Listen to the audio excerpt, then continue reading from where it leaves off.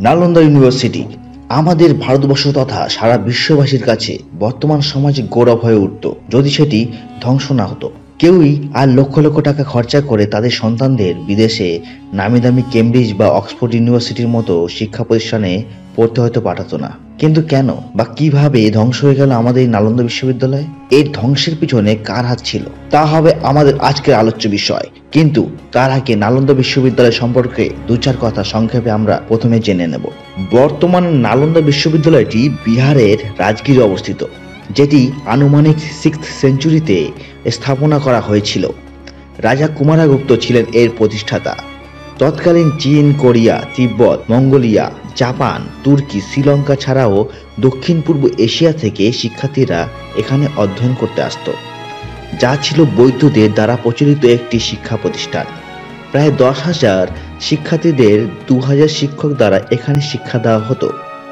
শুধুমাত্র বৌদ্ধ ধর্ম ছাড়াও এখানে অন্যান্য ধর্মেরও শিক্ষা দেওয়া হতো। চীনা পর্যটক হিউয়েন সাং এখানে প্রায় এক বছর অধ্যয়ন করেন এবং তার লেখা গ্রন্থে থেকে আমরা নালন্দা বিশ্ববিদ্যালয় সম্পর্কে বেশ কিছু তথ্য খুঁজে পাই। এটিই প্রথম প্রাচীন বিশ্ববিদ্যালয় ছিল, যেখানে ছাত্রদের হোস্টেলের সুবন্দোবস্ত ছিল। তুর্কি শাসক এখতিয়ার উদ্দিন মোহাম্মদ বিন বেখতিয়ার খিলজি দুই দুবার নালন্দা বিশ্ববিদ্যালয় আক্রমণ করে এবং আগুন জ্বালিয়ে এই বিশ্ববিদ্যালয়টিকে পুরোপুরি ধ্বংস করতে সচেষ্ট হয়। কিন্তু কেন এই মুসলিম তুর্কি শাসক বেখতিয়ার খিলজি এমনটি করেছিল? এই কারণটি ছিল সত্যি অতি অদ্ভুত। বা আমরা এক কথায় বলতে পারি যে, ভালো করলে তার মন্দ আছে।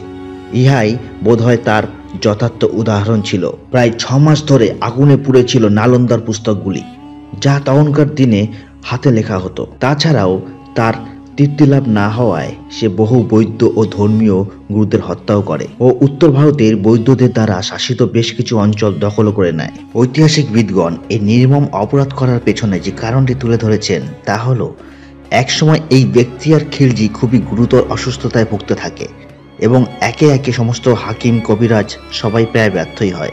এমত অবস্থায় সেই খবর পায় নালন্দা বিশ্ববিদ্যালয়ের অনেকগুলি বিভাগের মধ্যে আয়ুর্বেদ বিভাগের কথা। তখনকার সময়েও সারা বিশ্বব্যাপী এই বিশ্ববিদ্যালয়ের খ্যাতি ছড়িয়ে পড়তে থাকে। শেষমেশ কোনো উপায় না থাকায় সে নালন্দার প্রতি নির্ভর হয়। সে তখন নালন্দার চিকিৎসকদের শরণাপন্ন হয়।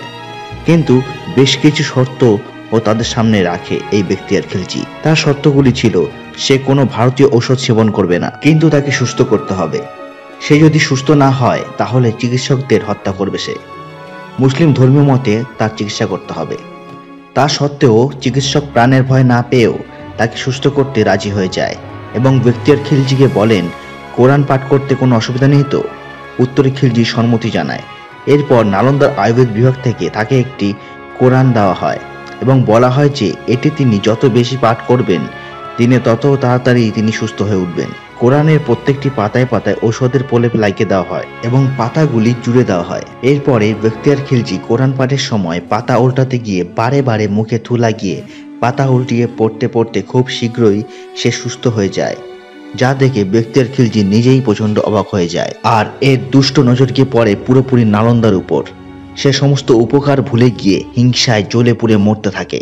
যেখানে তার সমস্ত নামি দামি হাকিম বৈদ্যরা ব্যর্থ হলো সেখানে নালন্দার আয়ুর্বেদ বিভাগ এতটা উন্নত হবে কি করে, যা সে কখনোই কল্পনাই করতে পারেনি। মূর্খ ব্যক্তির খিলজি শুধুমাত্র হিংসার কারণেই যে অপকর্মটি করেছে, যা ক্ষমার সম্পূর্ণই অযোগ্য। নালন্দার তিনটি প্রধান লাইব্রেরির লক্ষ লক্ষ পুস্তক আর রক্ষা পায়নি আগুনের কবল থেকে।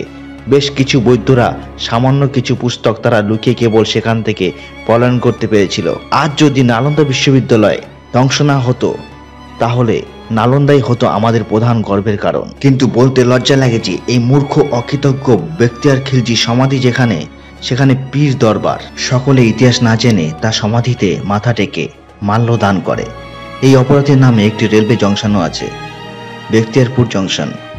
সত্যি বড্ড অবাক লাগে। আপনাদের এ নিয়ে কী মতামত? মতামত জানাতে ভুলবেন না। অবশ্যই কমেন্ট বক্সে আপনাদের মতামত জানাবেন। আর ভিডিওটি কেমন লাগল জানাতে একদমই ভুলবেন না। চ্যানেল নতুন হলে আপনারা প্লিজ সাবস্ক্রাইব করবেন। ভিডিওটি সম্পূর্ণ দেখার জন্য অনেক ধন্যবাদ। ফিরছি খুব শীঘ্রই নতুন এরকম আরেকটি ভিডিও নিয়ে। ততক্ষণ পর্যন্ত ভালো থাকুন এবং সুস্থ থাকুন। ধন্যবাদ।